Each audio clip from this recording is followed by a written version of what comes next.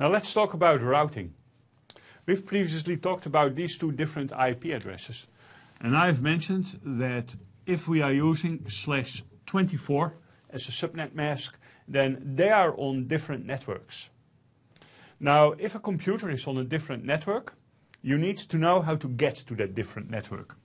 So let's say that this is the network where the 10 uh, IP address is on, and this is the network where the 20 IP address is on. What you need to connect the two of them is a router.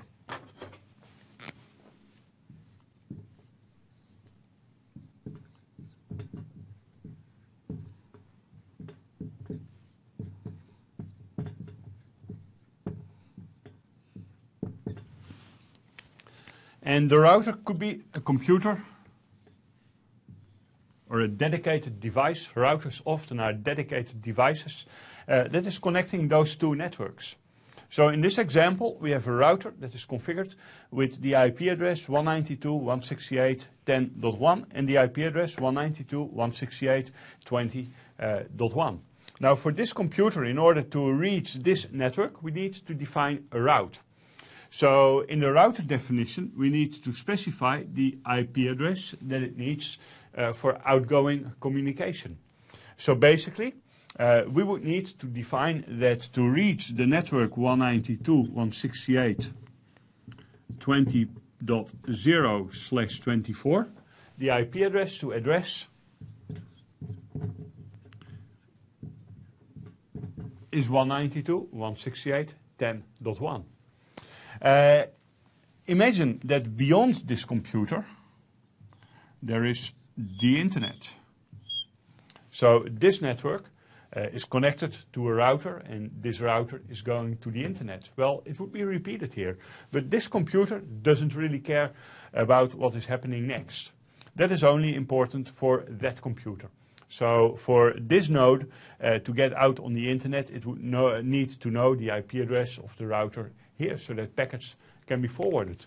Let's have a closer look.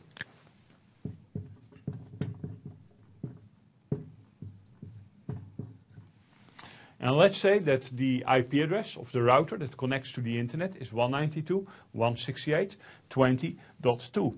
Now the interesting question is, what does he need about routing information to get to the internet and to get to this network? Because you can see packets to this network are going a different way than packets that are sent to the internet. Well, for this computer, uh, you would need to specify a default route. The default route can be written as 0000.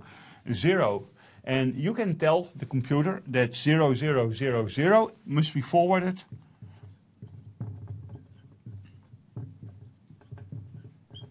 to the 192.168 20.2 IP address. And in order to reach this network, another route needs to be added.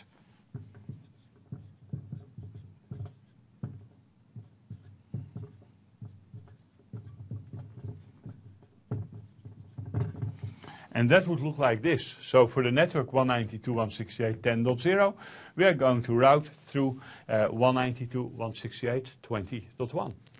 And this is giving you a little bit of an impression of how routing is working in networked environments.